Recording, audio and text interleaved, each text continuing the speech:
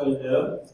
Good morning to you. Uh, so I will talk about bottom-up strategy for lean construction on-site implementation. I'm the main author, and the other authors, Flavio and, and Vitor, they're both professors of the uh, Escola Politécnica for São Paulo University. First, I will set the background. So this paper has the aim to evaluate on-site implementations of lean construction and using a bottom-up strategy where the workers themselves improve their own processes. It's kind of a collaborative, collaborative way. All data were collected by studying a large water pipeline construction site in Brazil. It was a, a huge project, uh, a billion dollar project, and we had a, a, a lot of crews doing the same job all over again. So it was for a, a, large water production system, a new one. The scope of the, of the construction of a pipeline, which has a diameter of 2.1 meters, and the trains have 4 meters of depth. The construction site is composed by soil excavation, pipeline installation, welding, and soil backfill. So this is the background that, that, that the paper has, so we, we are at the same level. Normally, who's the one that decides for lean construction implementation of the companies? We first thought that, of course, is the, the director of the, of the CEO. This is the person that wants to start a lean construction implementation on the companies. But has this person knowledge about lean? Does he know what he wants? Usually we have this guy, right? This is the, the, the big boss. I mean, he, he's the one that, that in charge, but he has no experience of doing lean construction implementation. On this case, we had a different kind of the big boss. The big boss that had um, lean construction, uh, not lean construction, but lean manufacturing experience. So he, he claimed us to do a bottom-up strategy, but from the really from the bottom.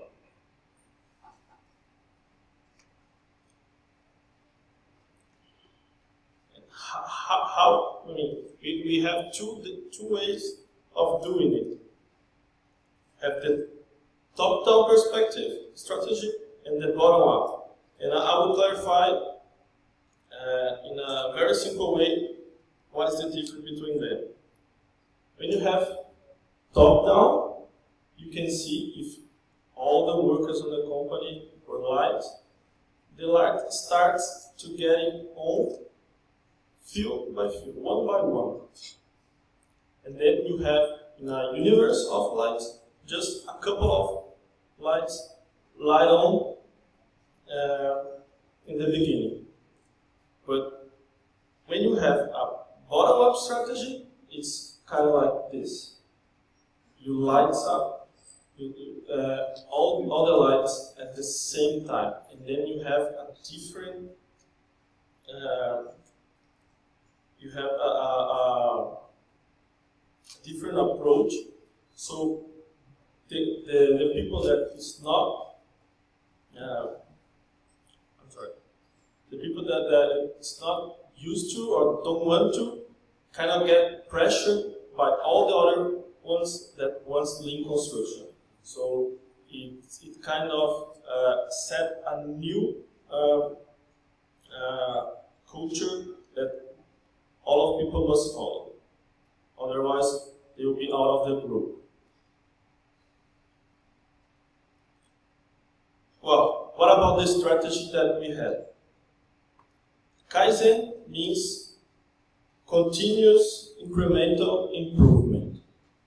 And as Womack and Jones described, the, the, there's two ways of doing improvements. This continuous incremental improvement and then the radical improvement. I'm going to talk only about continuous incremental improvement. And they, they say that this can lead to endless improvement. If you do it time over time, it can lead just to endless improvement. Okay? So what, what did we do? We developed a Kaizen form based on simplified A3 thinking method. And it was aimed for the foreman and, and their crew so they can identify and make improvements to overcome that waste that they identify. And we did a spontaneous improvement. We didn't force them to do an improvement.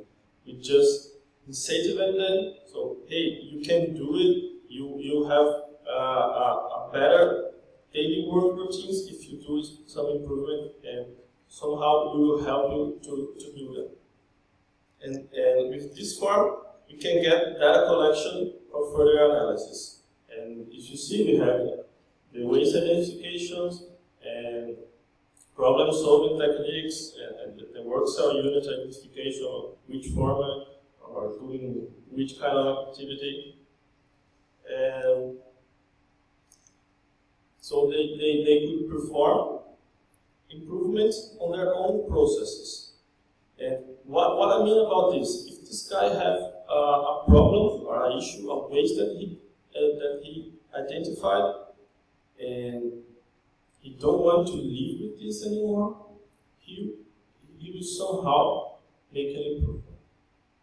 I, I, I brought a couple of ones so just to illustrate how, how, how is the level of this improvement. You can see this is, this is the pipe, huge one, and uh, we were in the left before the, the, the Kaizen improvement program.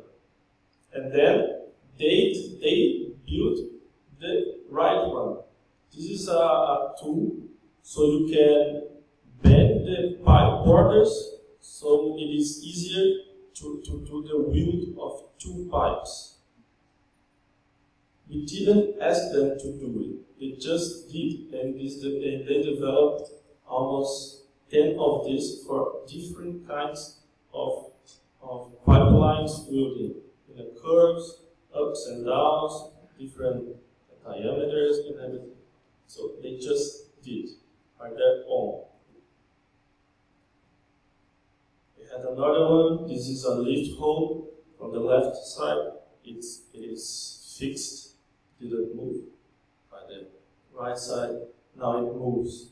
So these are small steps, small improvements that can um, reduce waste or even eliminate waste. We had for both of these activities, half of the time were um, we, we, we managed to, to in these both activities has le- uh, half, half of the time of doing this, this same the same uh, tasks. Okay? And how this, uh, uh, with, with this data collection of how many uh, how many kaizens were made, we tried to cross with some production and productivity rates so we could see if is this getting our construction better or not? Is, is this having some impact on our for construction management. And then we find these two, these two graphics. You can see that in the left one, we have the productivity labor rates, and then we cross with the number of Kaizen forms that we received. And the right one, we have the production per day, and then with the same Kaizen forms we receive. So we can see that we are very, uh, we are more effect, uh, effective, have more efficiency. We, we, we, we managed to lower the, the, the productivity in labor hour units per meter, so they spend less labor hours to do the same work. Of course, it, it depends on a, a variety of factors but it has a correlation. And the right one, you see that we get we got a, a more stabilized production. It also depends on a variety of, of, of factors, but there's also a correlation. So what are the conclusions of this work? First, it stimulates the workers to do improvement on their own processes. It's your, work routine that you can, you can do something to get better. It helps implement the culture of continuous improvement, so everybody's doing. Why am I not doing? I want to be part of the group. It directly benefits on both production and, and productivity. The waste, the waste reduction can also lead to an increase of work quality and safety. This is very important. Uh, but the number of Kaizen's grew, as the number of the Kaizen's grew, the effect it had on increasing the productivity and production rate would grow less. Feel this. The, the studies so advocates radical change followed by collective Kaizens to promote a systematically continuous improvement. So we have to, to always push this burden to avoid. Uh, okay, let's let's go to the out of time. They have a message for you guys.